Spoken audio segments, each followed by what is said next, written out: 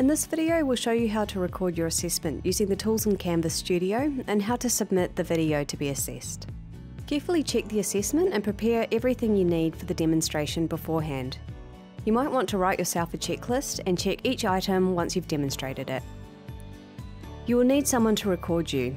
Make sure that you adhere to social distancing rules and maintain infection control procedures for your device. Or if no one is available, you can record yourself on your laptop or use a specific device tripod. If none of these options are going to work for you, then please contact your supervisor. You want to make sure that everything you're going to demonstrate will be captured in the frame. Clear some space for where you'll do your demonstration. Set up your camera and have a look at the frame to figure out where the boundaries are so you don't accidentally go off screen. Double check the assessment details to make sure you've got everything that you need and make sure that you set your recording device up away from water and that it doesn't create a tripping hazard. You should also check that you have adequate lighting. If you're unsure, just turn on the lights in the room even if it's daytime. You should also check that you're not going to get any disruptions while filming. You might even want to make a sign to put on the door that says, recording quiet please. It can feel a bit odd talking to a camera. So do a couple of practice runs until you're feeling comfortable and check that your video and audio is working correctly. To record your assessment, you'll be using the tools in Canvas Studio. In Canvas, select the Studio icon from this menu on the left-hand side. This will bring up the Studio application.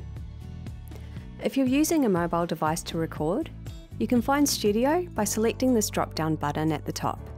Scroll down the menu until you find Studio. Next, select the Record button in the top right hand corner. Then select Webcam Capture. You might get a pop up notification asking for permission to access your camera and microphone. Select Allow if that shows up. Once you've positioned your camera, then you can select the Start Recording button. If you need to try again, you can select the Start Over button to start again. When you finish recording, select the Finish button. Give the recording a name. You might want to check the assessment instructions or with your supervisor if the file needs to have a certain naming convention. Once you're happy with the recording, go to the assignment in Canvas.